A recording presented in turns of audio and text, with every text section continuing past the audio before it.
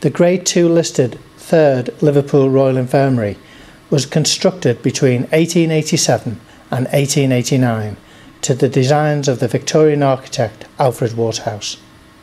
The hospital served the city of Liverpool for almost 90 years.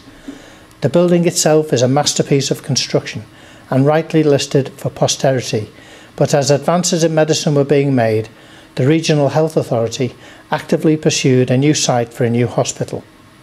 All hospital operations were transferred to the present Royal Liverpool University Hospital in 1978, although some ancillary users remained for a short length of time.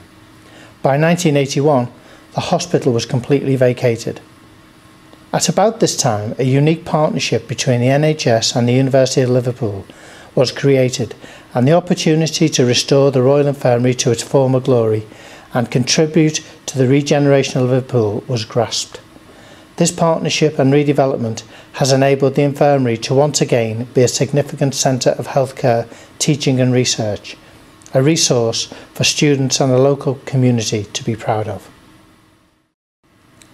The buildings that make up the infirmary, including the boiler house, are of traditional style of the era with liberal use of terracotta and red pressed brickwork for external detailing. The neo-Romanesque and Gothic mass and detailing of the building's exterior gave its frontage a sense of restrained monumentality, yet the real beauty was in the infirmary's organisation and utility.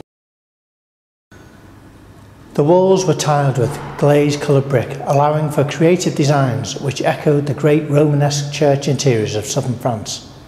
The overall effect was one of both aesthetic and hygienic attraction, which reaches a visual climax in the hospital chapel, which formed the centrepiece of this Victorian institutional structure, and commented upon the contemporary preoccupation with the well-being of the spirit as well as the body. The chapel was of considerable size and it was possible to seat almost 300 people. It contained a beautiful font and had a fine lectern in the form of an eagle. Services were held every Sunday and a special service was held every Christmas which was attended by consultants and staff with their patients and nurses. There was a fire in chapel on September the 29th, 1913 when part of the organ and a wall were destroyed. Liverpool-born architect and champion of the High Victorian Gothic, Alfred Waterhouse, was a natural choice for the infirmary design, having already designed a number of Liverpool buildings, notably the Northwestern Hotel on Lime Street and the Prudential Insurance Building on Dale Street.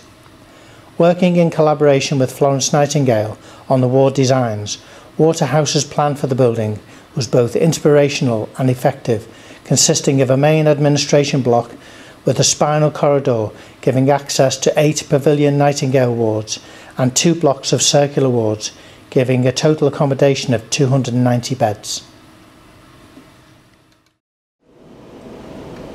This huge hospital building required heating, of course, and the coal-fired Victorian boiler house and combined chapel of rest and mortuary buildings were built in a complementary style of the main hospital buildings, with red brick terracotta exteriors and stained glass windows to the chapel facades and French-style architectural leadwork on the roof.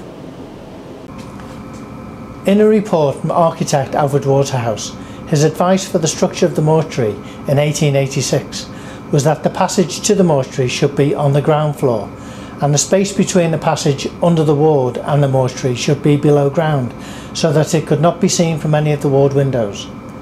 This block of buildings would consist of a waiting room for friends, a room in which the friends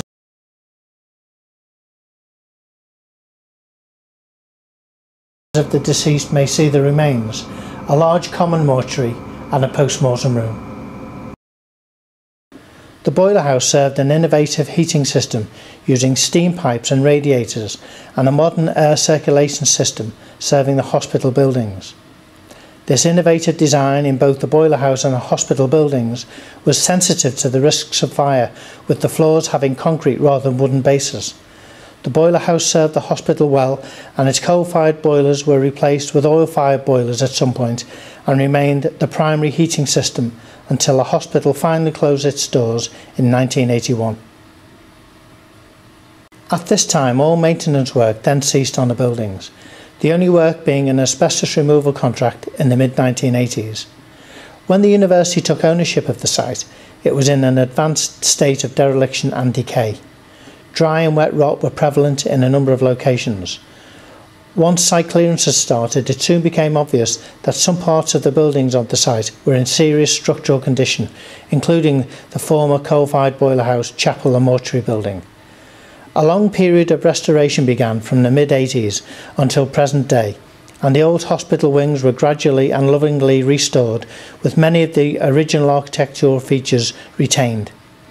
The last buildings to be refurbished were the boiler house and one of the circular wards, which were both fully restored and brought back into service in 2014-15.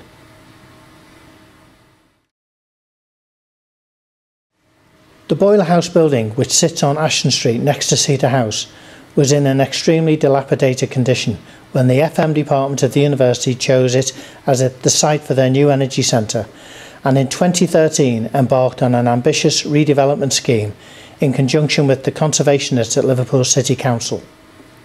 Being a Grade 2 listed building, there were many restrictions imposed on the building and alterations that could be made to it. For example, agreement was given to allow the installation of an air plenum on the roof. In many ways, the building is unchanged on the exterior, and the old slate roofing tiles were lifted off, cleaned and replaced, and the ornate original chimney stack was repointed and made structurally safe, though it is for decorative purposes only and plays no part in the functioning of the energy centre itself.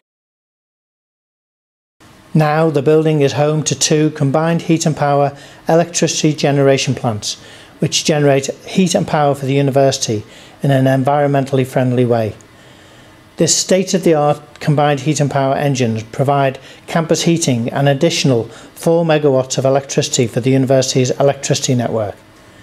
Sympathetically installed within the Grade 2 listed building, the project involved the alteration and refurbishment of the existing building to allow the installation of the CHP and associated plant. This exciting extension to the university's award-winning heating infrastructure project, Energy Centre, which came online in 2009, and also houses a 3.5 megawatt combined heat and power engine, will mean that the university will be almost self-sufficient in electrical generation and using the waste heat from this process will provide heating and hot water facilities to almost all of the buildings on the main campus. as well as breathing life into a former Victorian boiler house and preserving its rich architectural heritage for many years to come. This 21st century energy centre will be delivering real operational cost savings to the university and go a long way to help the university achieve its carbon reduction targets by reducing the carbon emissions to the atmosphere and saving approximately £1.2 million per year in operational costs. The refurbishment of the old boiler house was delivered on time and on programme and within its £7.85 million project budget and is a real statement of intent from the University of Liverpool in relation to sustainable technology.